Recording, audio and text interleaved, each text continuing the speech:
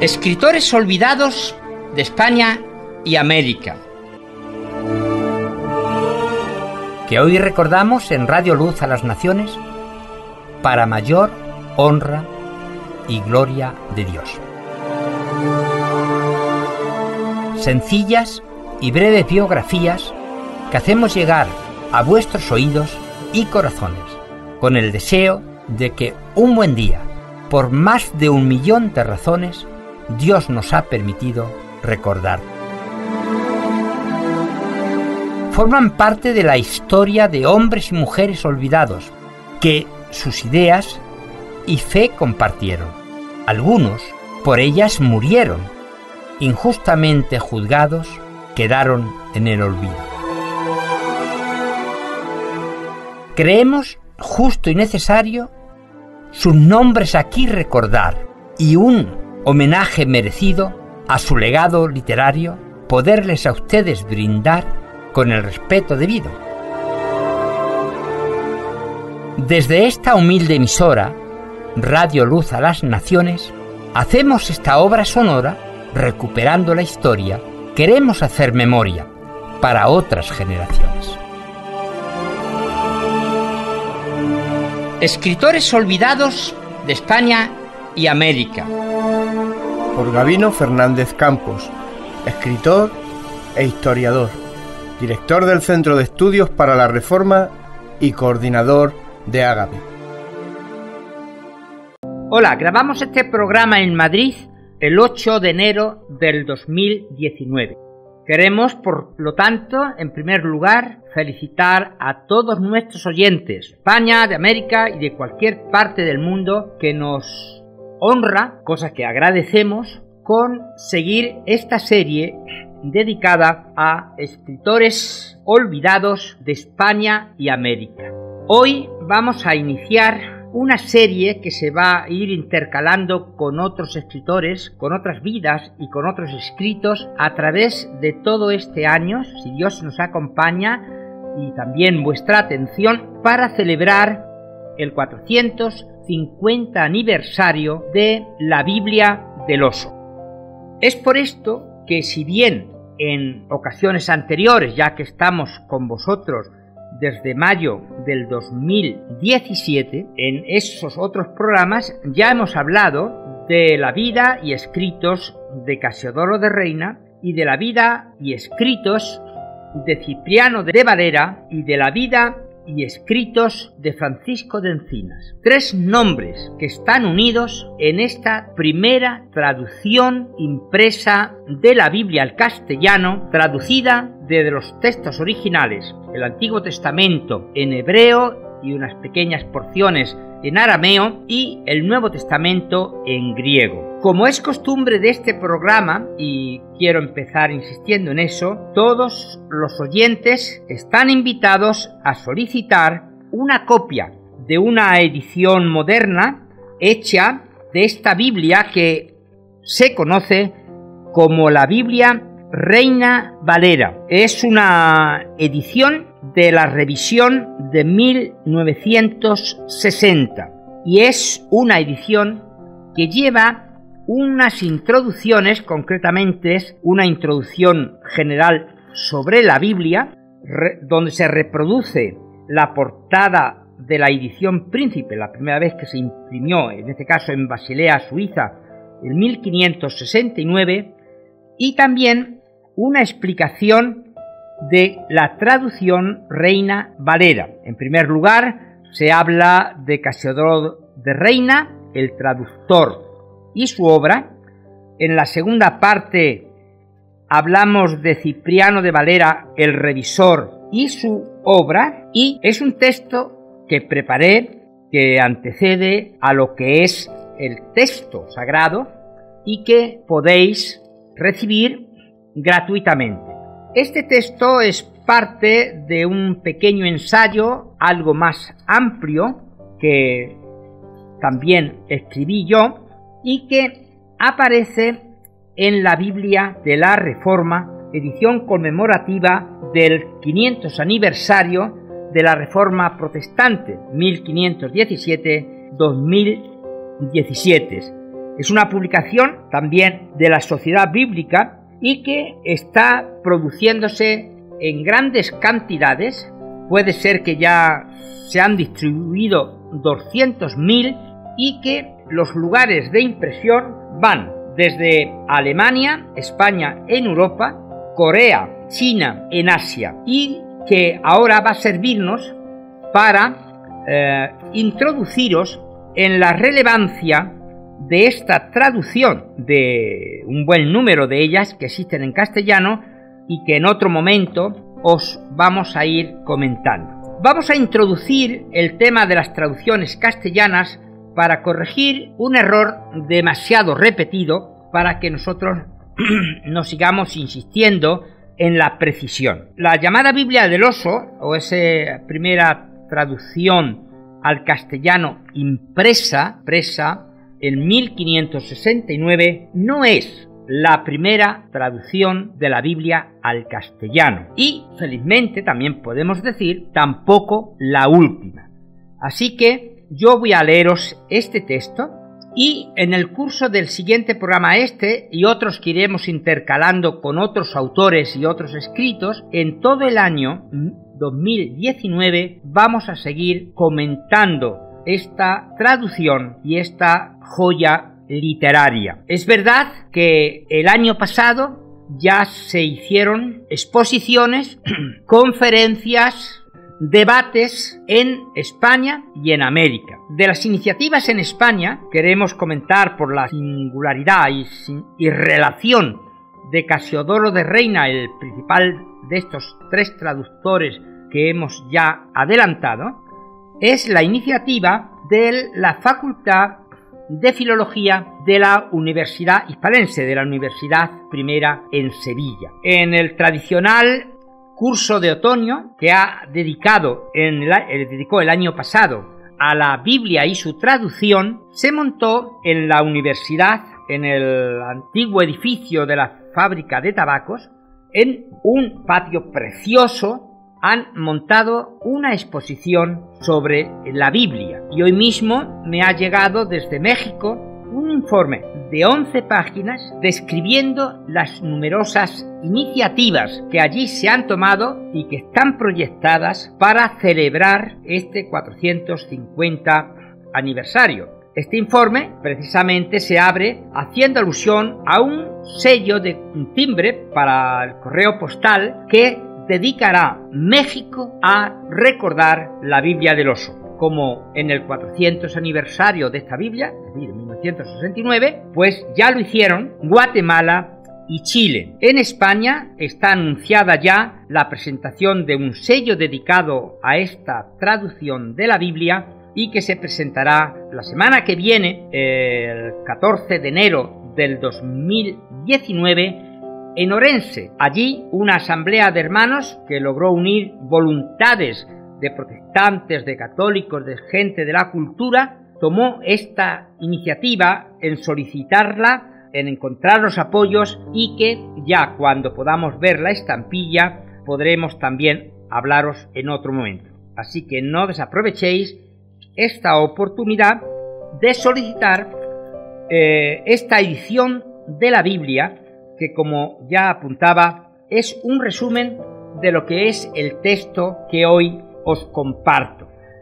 el, título general de esta introducción, que además está muy bien acompañada, pues Ricardo Moraleja, traductor bíblico, habla en ella, eh, Luis N. Rivera Pagán, profesor emérito de Teología Ecuménica en el Seminario Teológico de Princeton de los Estados Unidos, es otra, La Biblia y el Quijote, breves apuntes para estudio del profesor Plutarco Bonilla Acosta, español recriado en Costa Rica y ya jubilado, pero que sigue como consultor de las Sociedades Bíblicas Unidas. Aquí aparece también, previo al texto divino, las, los mudos hablan y un buen castellano, la Biblia Reina Valera en la difusión de la fe evangélica de habla castellana de Samuel Escobar Aguirre, peruano, presidente honoráfico de, de las Sociedades Bíblicas Unidas,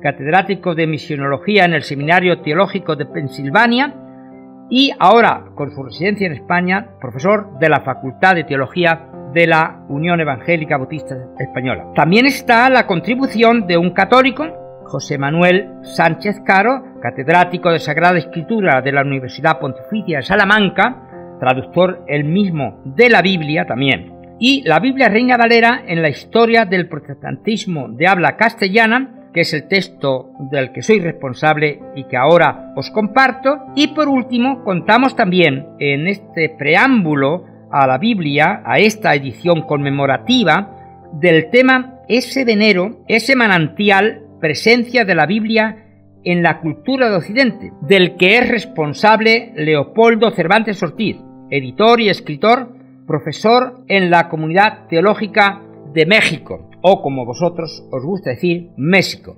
Sin más preámbulo, os comparto mi colaboración y recuerdo que podéis solicitar una Biblia con el texto eh, sagrado y también, en este caso, solo con mi contribución, pero es la que os orienta sobre los dos principales traductores, Casiodoro de Reina, Cipriano de Valera, y hace una pequeña interrogación sobre la reparación justa que merece la contribución que a este texto está tomada del Nuevo Testamento de Francisco de Encinas, burgalés, español también, y que se había adelantado bastante, ya que él publicó su Nuevo Testamento en 1543, es decir, 26 años antes de que apareciera una parte desde la Epístola de Santiago hasta el Apocalipsis en la Biblia del oso.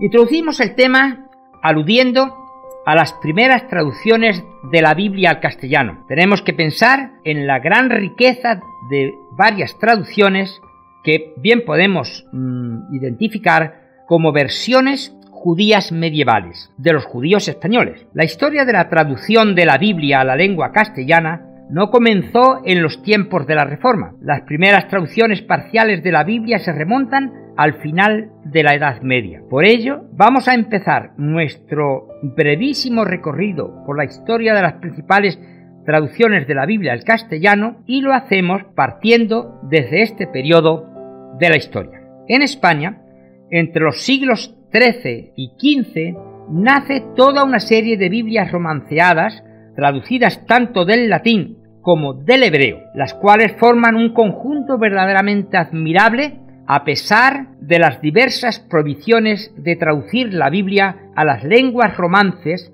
que se habían promulgado en España durante los reinados de Jaime I el Conquistador siglo XIII, los reyes católicos siglo XV y Carlos V siglo XVI.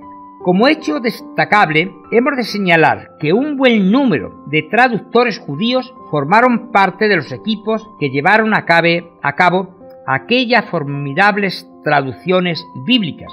Muchas de aquellas antiguas traducciones en lengua romance se conservan aún en diversos manuscritos de la Biblioteca Regia del Monasterio del Escorial, desde los tiempos de Felipe II, gracias al valioso trabajo de Benito Arias Montano. De entre todas las traducciones medievales de la Biblia, hemos de citar de modo sobresaliente la llamada Biblia de Ferrada. Esta Biblia judía, es decir, que solo cuenta con el Antiguo Testamento, fue publicada en 1553 y es el resultado del trabajo realizado por dos judíos sefardíes que fueron expulsados de España y Portugal por orden de la Inquisición y que se establecieron en la ciudad italiana de Ferrara. Se trata de una traducción literal y por tanto está plagada de hebraísmos. Esta traducción del Antiguo Testamento hebreo al castellano fue uno de los textos bíblicos que consultó Casiodoro de Reina mientras realizaba su traducción de la Biblia. También es necesario mencionar otras dos importantes Biblias medievales, la Biblia medieval romanceada judeocristiana del siglo XIV y la Biblia de Alba del siglo XV. Esta última fue editada en 1430 y la auspició el rey Juan II de Castilla. Se trata de una traducción del Antiguo Testamento realizada directamente de la lengua hebrea y aramea. El lugar donde se conserva la biblioteca del duque de Alba dio nombre a la versión. También existe un Nuevo Testamento traducido en el siglo XIII y publicado a mediados del siglo XX. Aunque no son propiamente traducciones, sino más bien paráfrasis bíblicas, sí me gustaría citar la Biblia romanceada y el, el itinerario bíblico en prosa castellana del siglo XII y la Biblia alfonsina. Esta última es llamada así porque quien fuera su patrocinador, Alfonso X el Sabio, rey de Castilla y León, y es una traducción parafrástica de toda la vulgata latina al castellano. La Biblia alfonsina vio la luz en el año 1280 y forma parte de la gran y general historia. El siguiente capítulo de este pequeño ensayo está dedicado a una breve revisión o resumen de los ambas cosas, porque así es, de los primeros traductores protestantes. En el apartado de traductores protestantes de la Biblia merece una mención especial Juan de Valdés, que nació en Cuenca en 1509 y murió en 1541 en Nápoles. Se tiene constancia, y se han editado recientemente también, de que llevó a cabo la traducción desde las lenguas originales de los Salmos, el Evangelio de Mateo y las epístolas paulinas a los romanos y primera a los corintios. Para profundizar en su vida y obra, recomendamos la lectura del libro de José Constantino Nieto, realmente su tesis doctoral, Orígenes de la Reforma en España e Italia. Francisco Encinas, Burgos, precisamente acabamos de celebrar el quinto centenario de su nacimiento, nació en 1518 y murió en Estrasburgo en 1552. Es sin duda uno de los personajes más interesantes del humanismo y de la reforma españolas y europea del siglo XVI. Especialmente ha pasado a la historia por haber realizado la primera traducción del texto griego del Nuevo Testamento al castellano y haberla publicado en 1543 en la ciudad de Amberes. Muy atinadamente, en un reciente homenaje que le rindió, que se le rindió en la ciudad de Burgos, tierra natal, y que escribió su paisano Octavio Granado, historiador y político, dijo de él, Francisco de Encinas fue alguien perseguido por ponerle voz a Dios para que fuera entendido por sus contemporáneos. Casiodoro de Reina tomó para su traducción grandes secciones, cuando no libros completos para finalizar su Biblia. Podemos añadir a este texto que, como antes en la introducción dijimos, literalmente incorporó Casiodoro de Reina desde la epístola del apóstol Santiago hasta el Apocalipsis. Otro traductor primerizo de la Biblia al castellano y español es Juan Pérez de Pineda, que nació en Montilla, Córdoba, Andalucía, a comienzos del 16 o finales del 15 y murió en 1565 en París. Fue uno de los grandes precursores del Evangelio en el mundo de habla castellana, contemporáneo de Juan Gil, Egidio, Constantino Ponce, Marcos Pérez, Casiodoro de Reina y Cipriano de Valera, entre otros célebres protestantes en España. Recurriendo a la acertada cita del hispanista francés Marcel Bataillon, Debemos recordar que concibió el proyecto de dar a España el alimento bíblico de que la Inquisición la privaba, y para ello revisó y editó en Ginebra el Nuevo Testamento de Francisco de Encinas, y editó por primera vez la traducción y exposición que Juan de Valdés hizo de Romanos y Primera de Corintios. Y también le debemos su propia traducción de los Salmos. Este Nuevo Testamento, publicado por Pérez de Pineda, fue el texto bíblico que en el año 1557 Julián Hernández llevó a Sevilla y lo introdujo en el monasterio de San Isidoro del Campo, costándole la vida, pues fue tres años después quemado vivo por los inquisidores de Sevilla. Ya sí que llegamos a lo que es la principal preocupación en esta serie de programas que os anunciamos para recordar el 450 aniversario de la Biblia del Oso. Los textos anteriores, editados posteriormente, incluso algunos más recientemente del propio burgalés, pues no son fáciles de conseguir, aparte de en las grandes bibliotecas de Europa y de América. Por eso, insistimos, aprovechar la ocasión de recibir una copia de esta traducción bíblica con una introducción que yo escribí y ahora en más extensión os estoy compartiendo. A Casiodoro de Reina, que nació en Montemolín, un pequeño pueblecito del sur de Badajoz, en 1520 y murió en Frankfurt en 1594, Alemania, le debemos la primera Biblia en lengua castellana que se imprimió y que había sido traducida desde las lenguas originales, es decir, hebreo, arameo y griego. Esta Biblia, conocida como la Biblia del oso, por la imagen que lleva estampada en portada, un oso comiendo miel de un panal, es una de las traducciones bíblicas más importantes llevada a cabo durante el siglo XVI.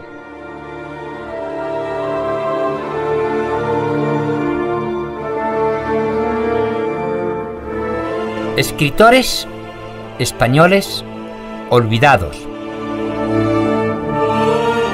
que hoy recordamos en Radio Luz a las Naciones para mayor honra y gloria de Dios.